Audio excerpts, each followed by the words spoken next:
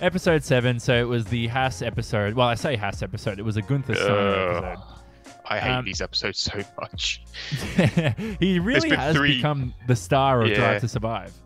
He has, for reasons that are inexplicable to me.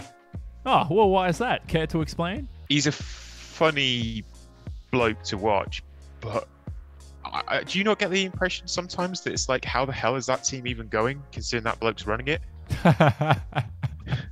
Do you not think? well, I know. Look, I I think he. I don't. I'm not there every day. I'm not there day to day to judge him. It's like, see, look, I I you know coach basketball and sports and stuff, and whenever I criticize as a fan in sports, I realize, oh wait a second, there's so much more that I don't see. I only see one percent of it. So I got to be careful with what I say. Am I too? I'm being too nice. I'm too nice here. I don't know. Maybe the thing I liked was he's a funny guy. Seems to get along with people. He's got a, a temper which helps as a leader. You know, he, he puts a lot of pressure on people. But when he sat in on that sponsor meeting, right? And they were searching. Do you remember they searched for the German driver or whatever they had? Which, by the way, how Netflix were allowed to sit in on something like that is beyond me.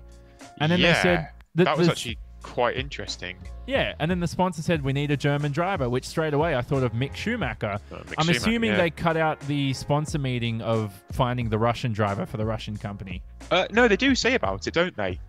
Um, Oh, they? because yeah, it, it- I think it's towards the end of the episode. Guenther Steiner's asked about it, and then he's like, "Oh, you do want to push for this, don't you?" Um, and then he says that it's Mick Schumacher and Nikita Mazepin, um, and then that he explains that Mazepin's father has a company that he wants to sponsor. Oh, yeah, and, they and, like, do. get on the glo- yeah, Yeah. so.